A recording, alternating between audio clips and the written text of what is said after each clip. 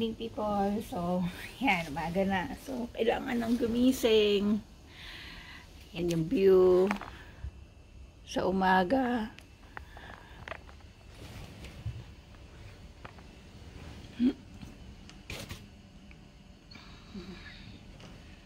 Yan, kasi nakakaya sunrise kapag tulog ka pa.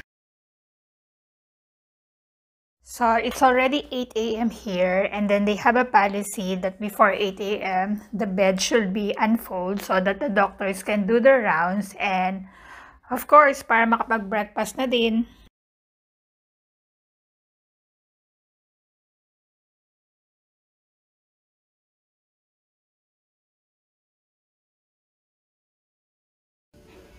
Good morning! So, dahil morning na, ito na yung breakfast nila na dinideliver every morning. So, open natin siya kung ano yung nasa loob.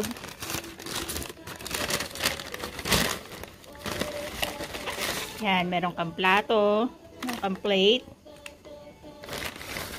Ito, bread to. Whole meal, mostly.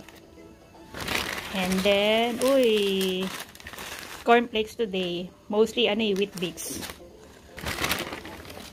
meron kang orange juice. Hmm, may milk ka pa para sa cornflakes mo. Pero ako ginagamit ko to sa ano, sa coffee ko. Then, syempre, cutleries, hindi pwedeng mawala yan.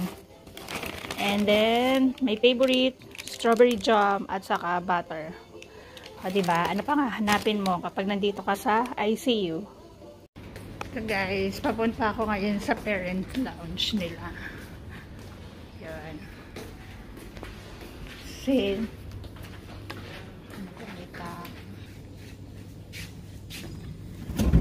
Yan, kasi nandito lahat ng mga food. Pwede kang maglagay dito sa rep. Lalagyan mo lang ng pangalan. Katulad yan. Yung pangalan ko. And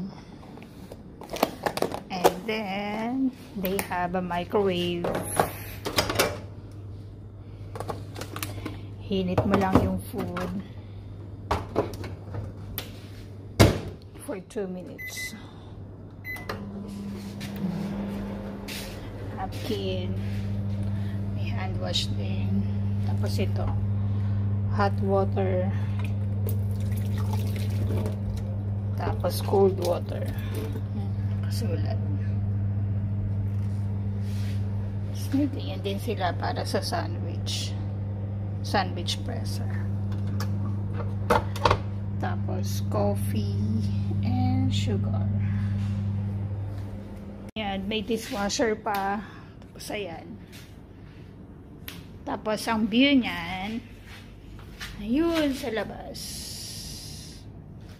Diba? May cling wrap pa para sa food. May bake wrap pa. Hi guys. Ito yung ano, yung bathroom sa ICU. Naka-separate siya sa room. Yan. Hindi katulad sa ward na meron kang sariling toilet, meron kang sariling bathroom. Tapos yan, jacuzzi. Hindi, dyan, dyan ka maliligo. Tapos yan. Tapos tingnan mo meron silang stock dito ng ng toilet tissue tapos hand wash. Tapos paper towel. Gusto mo. Tapos lahat ng klase ng glove from small, medium to large. O diba? Bongga.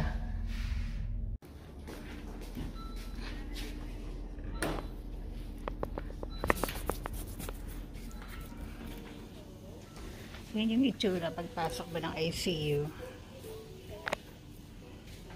May telephone. May screen. Tapos ito yung mga mouthwash care niya. Cotton, jumbo swab. Yan, may cotton buds. Tapos ito para sa lips niya kapag nagda-dry. May toothbrush din. Toothpaste. Yan. Tapos may gloves din. Small, medium, large. Tapos yan, may sarili ka ding sink. Ayan o. Oh. hand wash. Tapos ayun yung shampoo na ginagamit kapag maliligo siya. Super linis. So yan, yan. Tapos each room, meron silang sariling computer para maglagi ng details ng patient or may dapat silang gawin. So yan. Yan yung monitor ni Cassandra.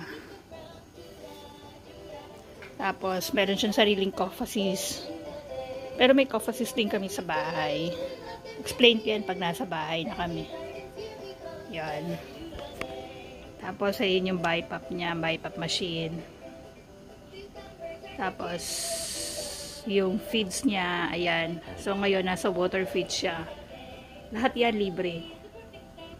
Tapos, kapag nandito kami sa hospital, lagi kami nag-aas ng adult bed. Kasi sa sa madaling araw kasi nagigising siya. So, pwede akong mahiga dito. Tapos, tinatapi ko siya hanggang sa makatulog siya. Saka, syempre, yung space din. Ito yung mga toys niya. Peekaboo. Tapos, sinuturoan ko siya ng mga animals para alam niya, para yung point-point. Then, ito, favorite niya tong box na to kasi tumutunog siya. Anything, anything with music yon Gustong gusto niya yon Yan. Tapos, syempre, hindi mawawala at mawawala yung basket of rattles niya. Mga favorite rattles niya na minsan si Kuya AJ yung nag-aayos nito dinadala dito sa ospital kapag especially kapag emergency yan, kapag sinabi mo kay Kuya AJ Kuya AJ, bring uh, Cassandra's favorite toys so alam niya na, yan yun yung basket na yan hmm. Yan yung hinihigan ko pwede siyang maging chair tapos later Yeah. So, during the day, kapag naka-off siya sa BiPAP niya, saka naka-off din siya sa fields niya, which is uh, mostly 10 a.m. until 12 o'clock. So, that's the time na we will have a floor play at saka para ma-exercise din yung buong katawan niya para hindi laging side by side lang siya sa sa kama. Game over.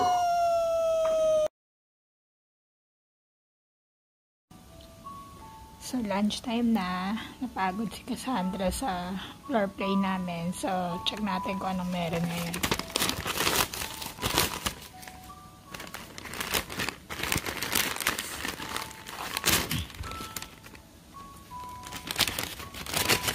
Yan, ito yung lunch.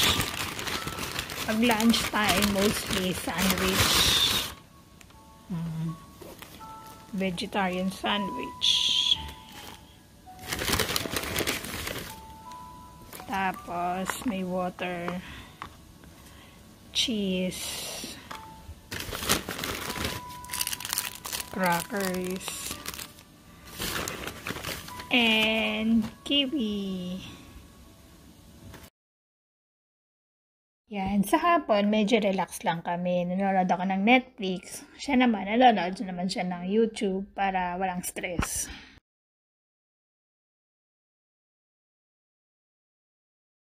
Free na dinner. Ito yung dinner ko ngayon. Open natin, open. Yan. Dahil nandito pa kami sa isolation pad nila, pero negative naman si Cassandra sa COVID. Two times nilang kinuhanan siya. Pero dahil wala pang bakanting room, kaya nandito kami. Dahil nandito kami, may libreng food, which is yun yung maganda. Yan siya. Oh vegetarian. Tapos, may cake pa. Slice ng cake. And then, may water. Cutleries. Time check. It's already 8 p.m. na. So, it's time for me to take a rest. Kasi si Cassandra, tulog na rin siya. At aayusin ko na rin yung hihigan ko para makaunat-unat ng bahagya. And makapanood pa ako ng isang isang movie. Then after nun makakapag grocery na ako